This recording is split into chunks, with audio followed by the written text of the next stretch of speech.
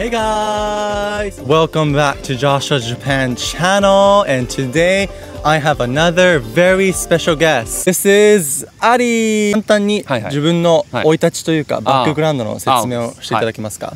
えっと僕はお父さんがインド人でお母さんがパキスタン人で2人が愛し合った結果 埼玉の大宮で生まれましたアリですありがとうございます。って言ったんですけどもまああの厳密にはえっとねパキスタン生まれで10ヶ月で、うん。まあ日本に来た感じ。だから2年間か。はいはいはい。ずっと日本にいてはい、日本語しかできないです。完全なる日本人としてうん。育ったと思うんだけど、そう確かに。その家庭の中でははいはい。どんな言葉を使ってたの、ヒンドゥー語ウルドゥー語、うんうん。でもどっちも喋る言葉は一緒なんですよ。大体お父さんがそのヒンドゥー語とかウルドゥー語で喋ってきて、うんうん。自分が日本語で喋って、はいはいはい、はい、通じ合うっていう感じでだから聞き取りは結構できるんです。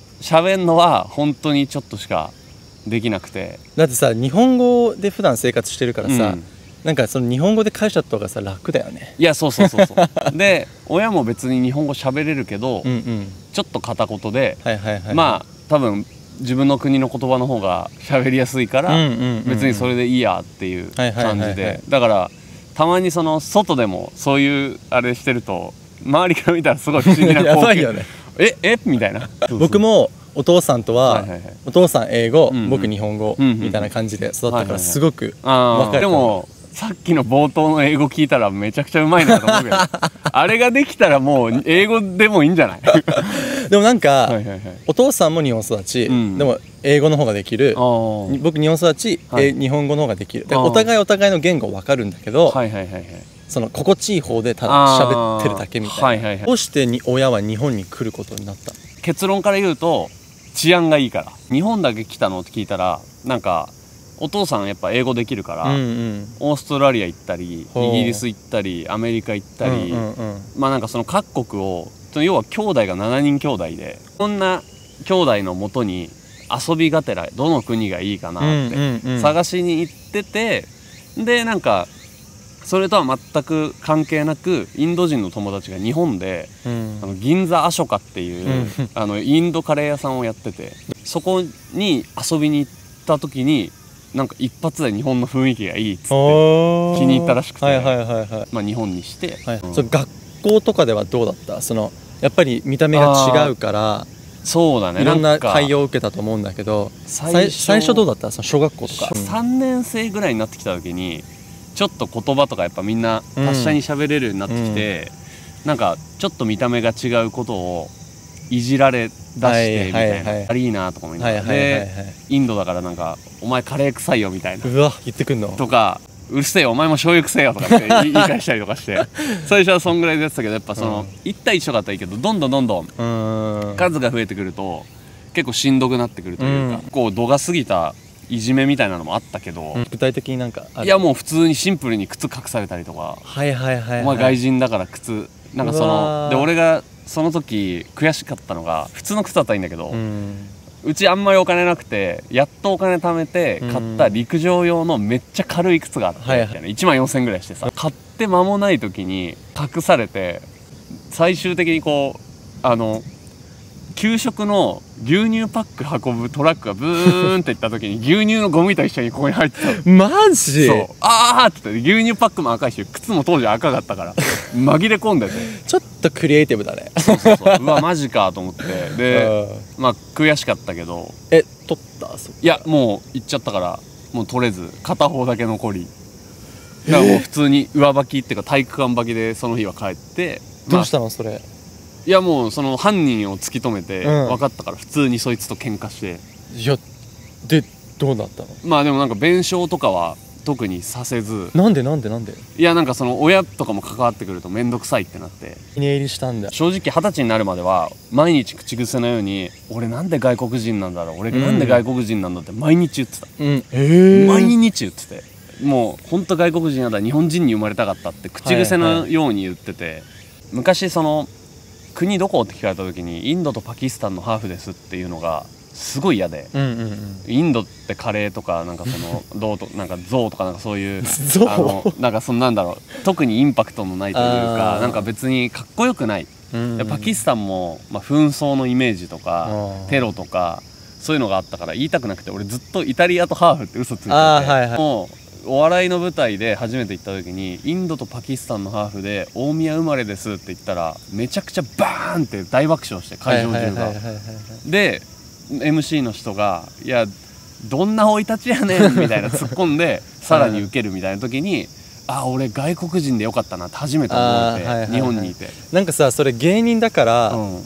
いいことじゃん、うん。その笑いが取れるから、うん。でもなんかそれ欧米の感覚から見るとはいはいはい生、い立ちを言っただけで笑いが取れるってうん。相当異常な光景なんだよね、ああそうだよね。だからそれをなんかイギリスうんうん。のコメディアンがうんうん。最初の自己紹介で「あー僕ハーフパキスタンのハーフインドのハーフでうん。育ちはロンドン生まれはロンドン」って言ったら「あそうなんだ」ってうんうん。終わる話なのね。はいはいはい。イギリスだったら。でもそれが笑いに変わるっていうそのうん。日本が多うん。分みんな新鮮だと思う。確かに。逆に。だからでも芸人だからうん。それはもう強みだよね。確かに。うんうん。向こうってやっぱいろんな人がいるからそれが当たり前みたいなうん。感覚が根付いてるからそこはさらっと流せるって考えた時に、うん。ある意味なんだろう全員の生い立ちとかを尊重してる文化があるってことはここって笑いに変わってるけどいすげえ勘ぐりすぎだけどちょっと差別な部分から来てるみたいなとこはある。あるよあるよ。うん。ね。僕もうん。だから自分のことを言うのためらうのよ。笑われるから。ああでもそれは嫌なんだ笑われるのは。僕ね笑われるのねきついの。ええ日本にいる外国人から見られた時にどういう風に見られるのかなって。最初に自己紹介して片言の英語で「うん。あ My name is Ali」みたいな「うん。Nice to meet you」みたいな。あ I speak English あ I don't speak English みたいな。うん「Ready?」みたいな。なんか「Born in Japan」みたいな。うん感じの説明して。で絶対一ボケで「I'm Japanese」って言うとうんうん「No no no」みたいな。よくあるのが六本木とかで働いてたから、うんうん。六本木で働いてて外国人だからこいつ絶対英語で喋れ英語喋れるだろっていうスタンスでやっぱりみんな来るから、うんうん。こうすごいナチュラルにバーって喋られて、うん。で困惑すると「お前なんでその顔なのに英語喋れねえんだよ」って外国人も言ってた、それもひどいよね。そうそうだから逆に言うと外国人のやっぱその英語のレベルというかできて当たり前でしょっていうのは痛感したかな。俺すごい不思議だなと思うのが、うん。日本って海外行ったら現地の言葉喋ろうとするじゃん。うんうんうんでも外国人って日本来てんのに英語で喋るよね。確かに。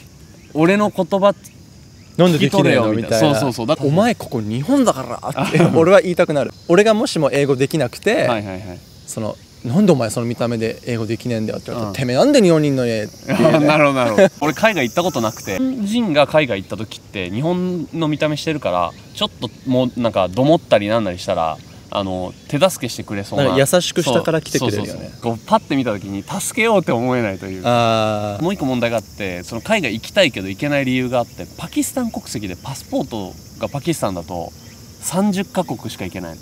そうなんだ。そう。で日本は180カ国行けてもう世界一パスポート、はいはい。世界ナンバーワンパスポートであれしてるからだから日本のパスポート取りたいなと思ってて、うんまあ取れる環境があるんだったらそうそうそう。取った方がいいかもね。で友達にその話しよく海外行く友達に話したらでもお前が今度日本のパスポート持ってあの違う国のその入国管理のところ通ろうとしたら今度はそれはそれで問題が起きるよって言われてあそうなの？っつって。だからずっとそういう運命なのかな。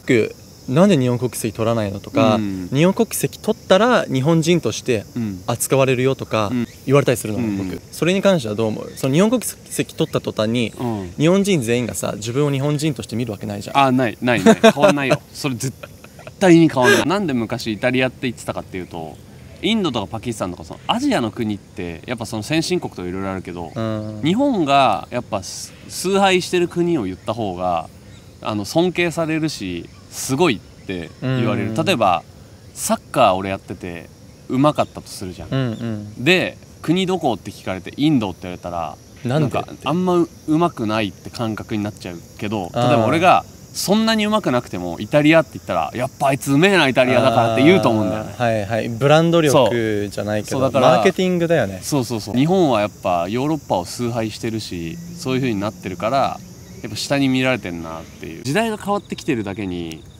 その対応してってほしいとこもあるよね。うん。ただ全部が全部海外っぽくなっちゃうと今までの日本の良さがなくなっちゃうから寂しい部分もある。うん。いい国だからうん。人気あるし、ち治安もいいしうん。ご飯も美味しいし、やっぱ何でもあるのが日本っていうイメージだから、豊富だよね。そう。全部が整ってるから。だからなんか埋もれてってほしくないなっていう。うん。TikTok やってるんで。TikTok よかったら。インスタもね。インスタもやってるので。よかったら。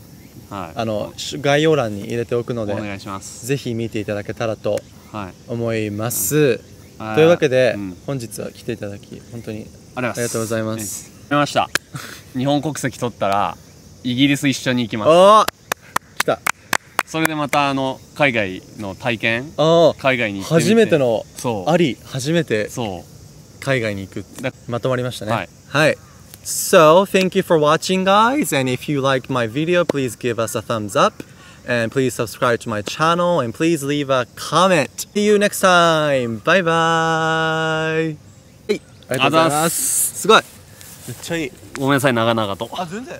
もうその方が。あ長い方が